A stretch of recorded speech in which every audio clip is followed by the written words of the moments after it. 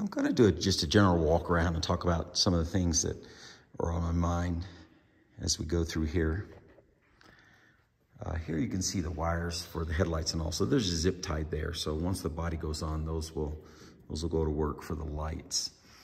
On the wheels and tires, I don't know if you can see it, but this is the size. I went with 245, 45 or 17.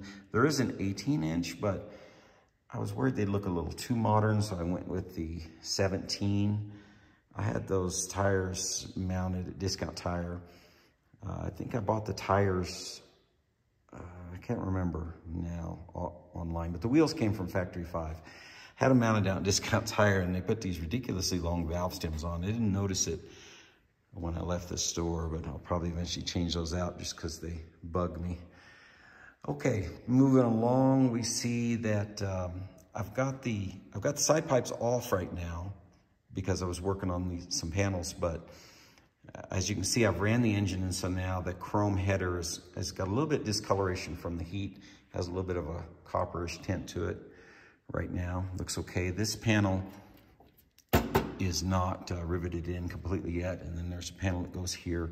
Those are a couple of things that are done before the body goes on, so I'll get to those. Looking underneath the PCM, the powertrain control module, you can see there's a good bundle of wires there. The wire, uh, the wires connected to this PCM are longer than, than you need, or at least if you're gonna put your PCM right there.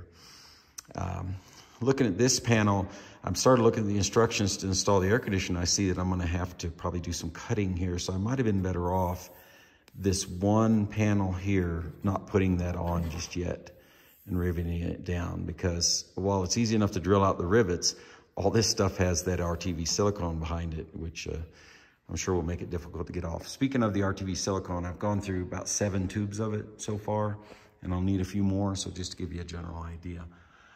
Uh, looking at some gaps here, here we have the, uh, the fusible link and the uh, fuse panel for the PCM and then the fuel regulator. So it all fits in there. The, the it, it's tight, but the spacing is, uh, is okay. It's gonna work out. Um, this is your high pressure pump for your uh, direct injection, which is new to the Gen 3 Coyote.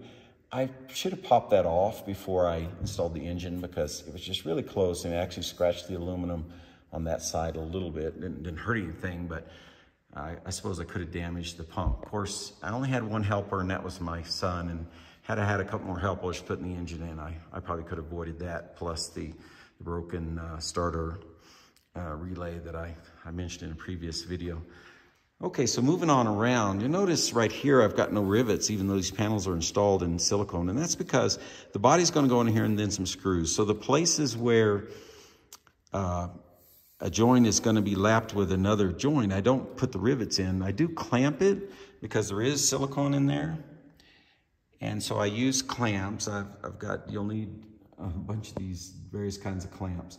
So I do clamp that down uh, so that the silicone sets and everything, but I don't want a double row of rivets. So same thing here. These panels, there's going to be another panel that sits here, there where I have the, the Sharpie line uh, after the body goes in and then they're riveted down. And I didn't want two layers of rivets in there and certainly don't want to have to drill them out. So what I did was I clamped that so you can see a little layer of silicone there. So that's nice and snug without the rivets. Then later when I put that other panel and put the rivets in, I will not have two layers of rivets, which, which would add a little gap, which I don't want to do. Uh, the center tunnel, I decided to put riv nuts on that so I could remove it. It seems to me that if you ever needed to adjust this park brake, it would be very difficult to do from underneath and can't do it at all from the top. So, plus I like the look of the riv nuts. So I put in um, standard spacing, which is uh, three inches when you're going into the tube that Factory 5 recommends. I put in a, certainly more riv nuts than it needs, but I like the look of those. I'll probably do a lot of riv, uh, riv nuts in the uh, these uh, uh screws on the same screws on the dash, just because I like the look of it and give it a little bit of a unrefined look. You know, I don't want the car to look too refined. I had a, uh, a 2017 Corvette Z06, fantastic car.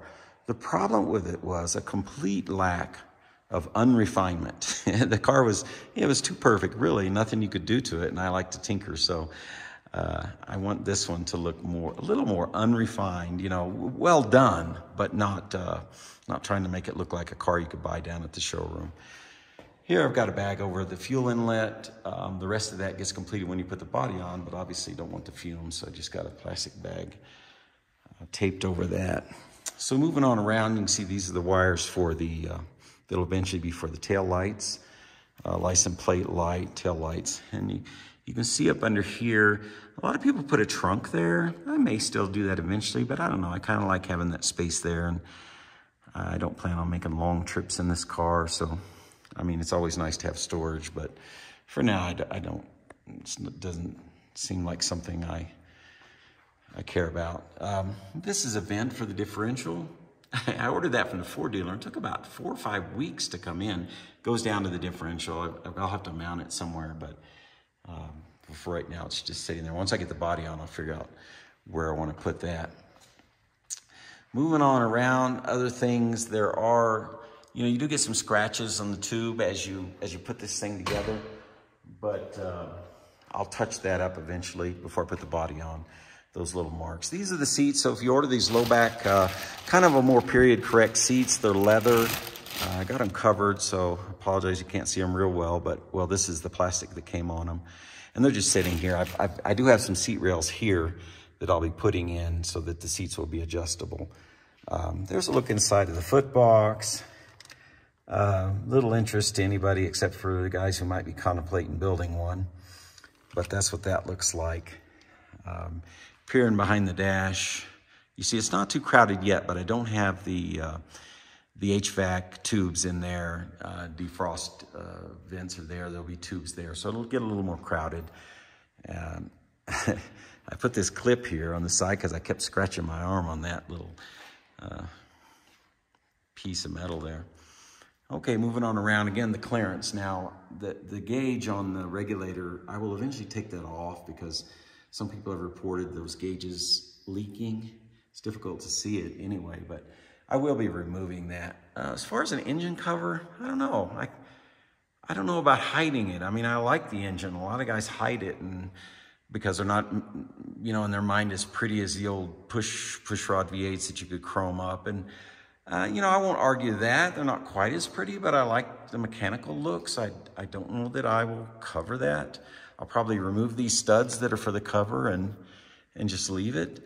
Um, this filter, I'll probably need to turn that uh, and down towards the battery, but for right now, it's up there. I, I, don't know if it'll clear the body where it's at right there, so that's why I may have to turn it. Uh, you do still have your oxygen sensors. You know, you're, you're not, you have no catalytic converters, not required to get registered here in Colorado, um, but you still have the oxygen sensor that goes to uh, the PCM. This is a clutch cable. I did go with a manual clutch. I prefer that I want to keep it as simple as possible. I have not set the alignment yet. Uh, I will be doing that. So, so that's kind of a walk around of where everything's at right now.